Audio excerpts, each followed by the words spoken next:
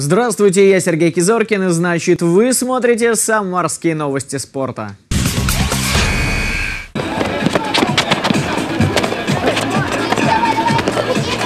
Товарищеский матч между администрацией Самарского района и родителями юных футболистов. Так стартовал турнир «Кожаный мяч». Соревнования проходят в Самаре уже много лет, и с каждым годом команд все больше. В этом году не только мальчишки, но и девчонки соревнуются в любимой игре. Самарский район можно назвать самым футбольным в городе. Нас вот открыли на улице Ленинградские часы обратного отсчета, да, которые людям будут показывать, когда уже состоится это грандиозное событие. А, мы, в Казахстан культуры и спорта, проводим а, футбольные турниры, мероприятия, различные популяризирующий футбол, да. Проходил у нас турнир по киберфутболу в этом году, да, для, ну, на, на приставках. Кожаный мяч разыграют в двух возрастных категориях до 11 и до 14 лет. Главные фанаты футбольных баталий, конечно, родители.